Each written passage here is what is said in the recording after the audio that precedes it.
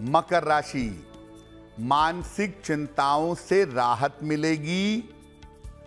स्वास्थ्य आपका बेहतर होता जाएगा। धन लाभ के योग बन रहे हैं।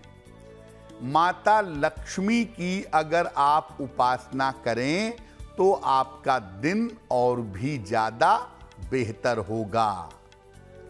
शुभ रंग आपके लिए होगा हरा। और भाग्य का मीटर आपको नंबर दे रहा है 80 प्रतिशत। बहुत अच्छा भाग्य आपके साथ बना हुआ है।